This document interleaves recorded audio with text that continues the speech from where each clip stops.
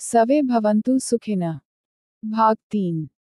उधर्वगमन मुक्ति की आकांक्षा। जो गुरु उपदेश के अनुरूप हो ग्रहण करें।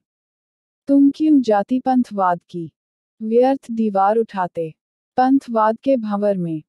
क्यों तुम धर्म की नाव फंसाते? आत्मा की ना ही कोई जाति होती है। ना ही कोई पंथ होता है। कर्मों के आधार पर। आत्मा को रंग रूप। योनि।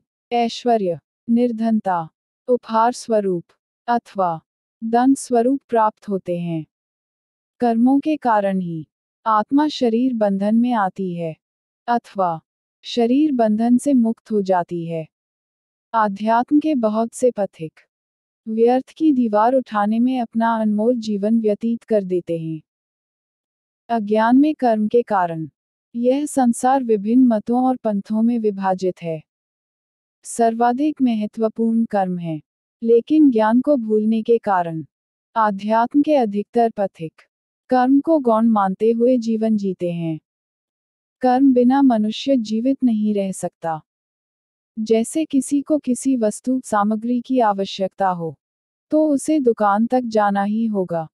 तभी वांछित वस्तु, सामग्री प्राप्त की जा सकती है। घर बैठे वांछित वस्तु सामग्री प्राप्त नहीं की जा सकती है। यदि ऑनलाइन ऑर्डर करें तो ऑर्डर करने का कर्म तो करना ही होगा अथवा ठेले रेडी के माध्यम से खरीदें तो घर से बाहर तक तो जाना ही पड़ता है। यह कर्म किसी अन्य व्यक्ति, नौकर, सेवक से तो करवाए जा सकते हैं, लेकिन पेट की क्षुधा के लिए तो स्वयं को ही भोजन ग्रहण करना पड़ता है।